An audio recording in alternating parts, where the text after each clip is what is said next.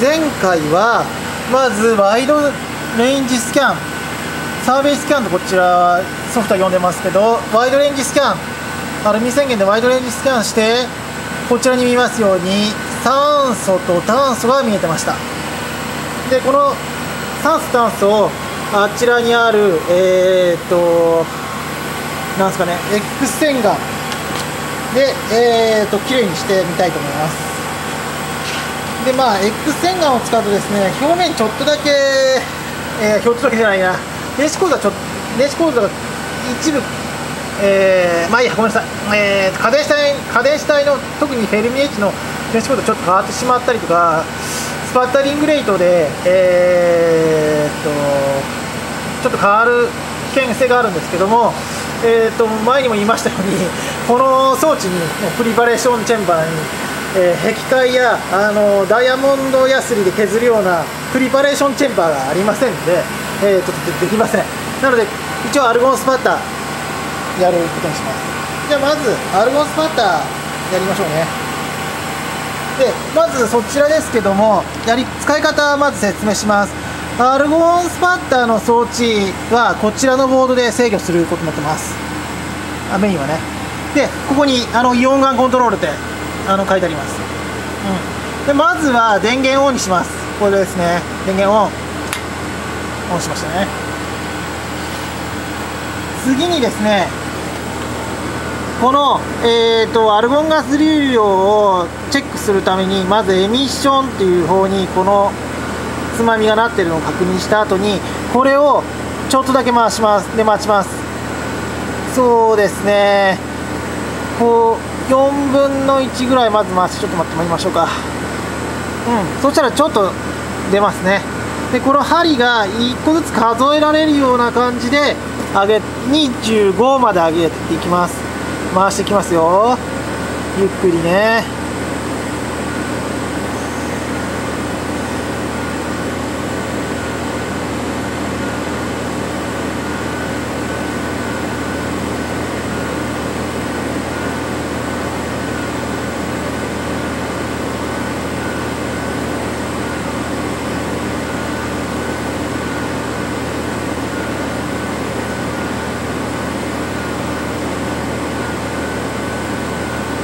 でこの時もですね本当は真空度をチェックした方がいいです。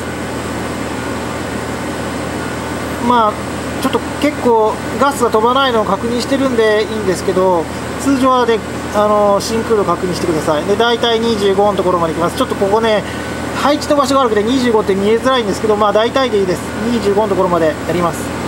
それが終わったら次はこのプレッシャーって方向につまみを変えます。見てくださいね。こうなります。これでプレッシャーの方になりました。でこれでアルゴン流量が変わると表示されるようになります。でこれがアルゴン流量を変える、えー、アルゴンのボンベです。まずこれを4分の1だけ開けてから元に戻します。見ててくださいね。4分の1だけ左回転して開けてアンチクロックワイズオープン。ですぐに戻せばいいです。で戻してください。これだけで十分です。でこれでもうかなり使えます。そしたら次はこの奥にある元のバルブを回します。で忘れていけないのは進行方向はこっちになりますんでこっちの方向でえーとまこっち側に回すと締めの方向になってこっち側の方向に回すと開けになります。で通常締めるときはこのここぐらいまでで締めればいいですまあ、ここの装置の場合はですね装置ごとにあの動かせるよう決まってきます。であと気をつけなきゃいけないのはこのカメラに当たらないように回さなきゃいけないです。なかなか難しいです。当たるとですねここの構築の設定が変わってしまうのでフォーカススイッチの設定が変わってしまうのでスイッチ使う人は困ってしまいますのでなるべく当たらないようにしてでさっきも言いましたように回す方向をちゃんと見ながらやります。見てくださいね。赤い印がちゃんとここっちの方向行くのが秋です。で一応回していきます。ちょっと分かりづらいですね。回していきます。で赤い印がまた見えてきます。ここの装置ではあまり流しすぎないようにしてます。で赤い印はこの方向と大体一緒になるようにまで開けます。そうするとここがだいたいいい具合になるようになってます。10ミリぐらいですね。10ミリパスカルになるようになってます。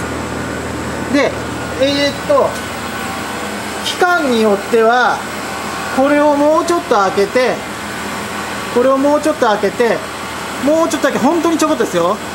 これは敏感なのであまり動かしすぎるとすぐに圧が上がって大変なことになります。だからちょっとだけこんな感じで開けます。そうするとこれ圧力が上がってるのが分かりますね。で期間によっては15から20とか、えー、10から20とかありますけど私の場合は10超えたぐらいでいいと思ってます。で10超えたぐらいになったらこちらの装置。でここのオンを押します。でこの装置が働いてここが10になるように調節してくれます。10ミリパスカルになるように、うん、となりますね。うん。まあ他の機関有名な機関ですと15から20ミリパスカルになるようにしてからあさっきのこれを押すと10になるということですね。では調節されます。で次に、えーと、ちょっとうちの装置特殊になってまして えといろんなものはコンピュータ上で操作できないのでこのラスターというのをオンにします。これをイント側にします。イント側にするとこちらの設定が反映されるようになってます。でラスターの X と Y が66で広く掘るようにしてあります。うん。でこれ44に変えてもいいです。他の機関で44にしてたりとかしますね。で次にですけども次にこのボルテージを上げます。オンしてでこれを4ケーブルまで上げます。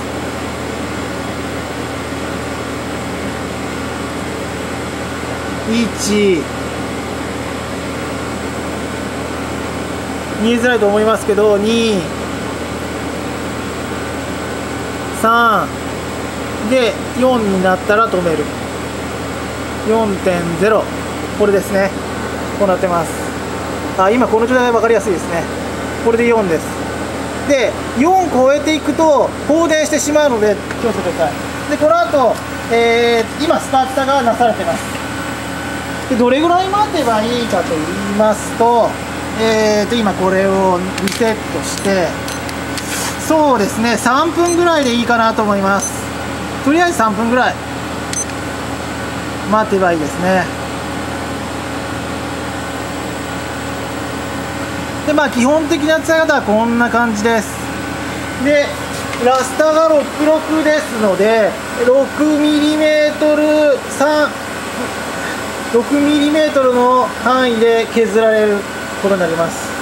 例えばラスター5号にした時にはこんな範囲ですから6だとおそらくこんなぐらいの範囲もっと実際は広がって削られます。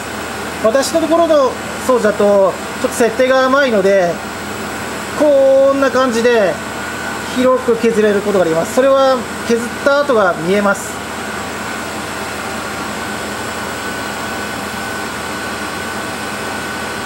なのでそれを見ながらも確認することができます。ちょっと3分は長いですからまた後で、えーと、続きをご紹介したいと思います。